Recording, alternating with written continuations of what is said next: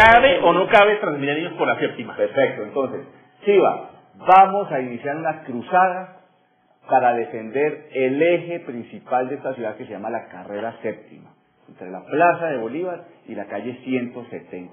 Vamos a convocar a la ciudadanía, a los, al comercio organizado, a las universidades, a los predios que hoy son patrimonio histórico, cultural, arquitectónico.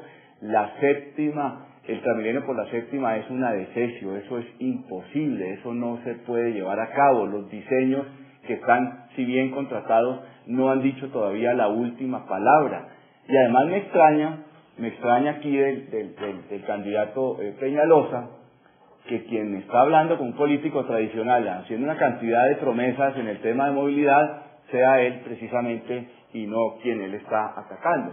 Entonces, en el tema de la séptima, eso es fundamental. Además, también me extraña, Peñalosa que se la pasa viajando por el mundo dictando conferencias, pues en cualquier ciudad del mundo se llega en un tren, se sube en un metro, después se sube en un bus y después va caminando hasta su sitio de trabajo. Entonces, ese, ese tema de la intermodalidad y de la interconexión y, de una gran estación como existen en todas las ciudades del mundo, pues eso no lo vamos a inventar aquí en la capital de la República.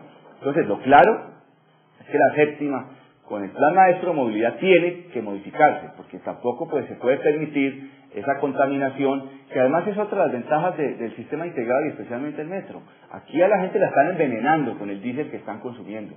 Yo introduje una acción popular que se llama Por el aire limpio, para que Ecopetrol, eh, para que se prohíba la venta y la distribución y la importación de diésel de pésima calidad. Hoy los niños y las niñas en Puente Aranda están siendo envenenadas con esa pésima eh, calidad del diésel. Los adultos mayores están congestionando todas las salas eras que son precisamente las que atienden las infecciones y afecciones respiratorias.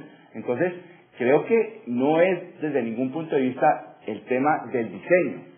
Es que Transmilenio, que es un componente de mediana capacidad para movilizar personas, eh, no solamente en Bogotá, sino a nivel eh, nacional e internacional, no resolvería tampoco la altísima demanda del corredor oriental. Del corredor oriental hablamos de Caracas, hablamos de la carrera 13, hablamos de la carrera décima, hablamos de la carrera séptima.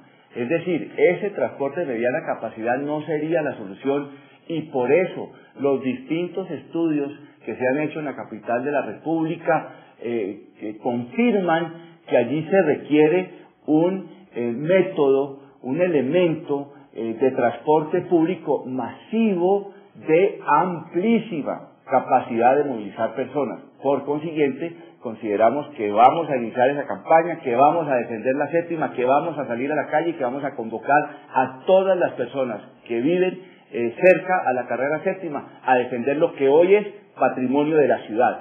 La calle real, la calle real nada menos que la carrera séptima de Bogotá. Yo